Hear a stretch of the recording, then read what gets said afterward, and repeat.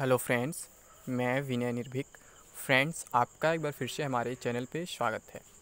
Friends, आप लोग इधर पूछ रहे थे कि मैं आर ओ आर वैकेंसी पे क्यों कोई वीडियो नहीं बना रहा हूँ? मतलब Allahabad high court R O R vacancy बात कर रहा हूँ यहाँ पे। तो फ्रेंड्स, मैं पहले भी आप लोगों को कई बार बताया हूँ कि आप लोग अफवाहों से दूर रहें। अभी जो है वैकेंसी में टाइम लगने वाला है। ठीक है? मैं आपको बहुत पहले बता चुका हूँ। जैसे कि क्या होता है ना कि हर जगह यही चीज़ वायरल हो रहा है। पहले लोग दिसंबर बोले, फिर जनवरी बोले, फिर मार्च बोले तो फिर अप्रैल ऐसे लोग बोलते जा रहे हैं, बोलते जा रहे हैं बट नोटिफिकेशन अभी तक नहीं आ पाया। पूरा पाँच महीना बीत चुका उन लोग के बोलने के हिसाब से। तो मैं आपसे क्या बोला था कि आप लोग अभी प्रिपरेशन फोकस करो। चाहे R O R O vacancy हो, चाहे ए पी एस की वैकेंसी हो, चाहे स्टोनोग्राफर हो या फिर ग्रुप से ग्रुप डी यानी कि क्लर्क या फिर ड्राइवर की वैकेंसी हो, ठीक है? अभी इन सब वैकेंसी में टाइम लगने वाला है।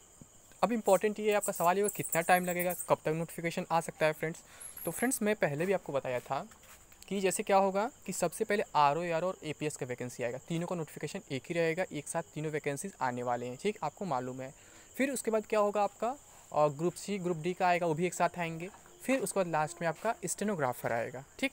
तो अगर हम बात करें किस मंथ में आ सकता है तो मैं आपको पहले ही बोला था फ्रेंड्स कि मैक्सिमम चांसेस है कि जुलाई के आसपास जो है आपको आर ओ आर ओ और ए पी एस का नोटिफिकेशन देखने को मिल सकता है।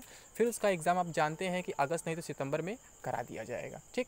और जस्ट उसी के बाद क्या होगा, नोटिफिकेशन आएगा तो हो सकता है आपका अगस्त में ही ग्रुप सी, ग्रुप डी का भी नोटिफिकेशन आ जाए, या फिर सितंबर में एग्ज़ाम कराने के बाद लोग नोटिफिकेशन दे सकते हैं। तो अगर अगस्त में आपका ग्रुप सी, ग्रुप डी का नोटिफिकेशन आता है तो आपका अक्टूबर में ग्रुप सी, ग्रुप डी का एग्ज़ाम हो सकता है। और अगर सितंबर में नोटिफिकेशन आता है तो फिर नवंबर में आपका एग्ज़ाम हो सकता है। और फिर जस्ट उसी के बाद इनको स्टेनोग्राफर का भी नोटिफिकेशन देना है आचार संहिता लगने से पहले।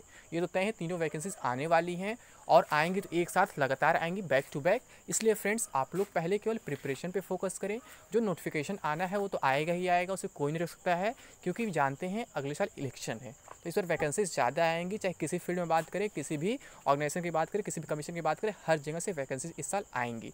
बस थोड़ा लेट हो रहा है, लेकिन आएँगी ज़रूर वैकेंसीज तो आप लोग केवल प्रिपरेशन पे फोकस करें। ठीक है फ्रेंड्स तो उम्मीद करता हूँ आपको सारी इन्फॉर्मेशन मिल गई होगी। तो अभी के लिए बस इतना ही। थैंक यू जय हिंद, जय भारत।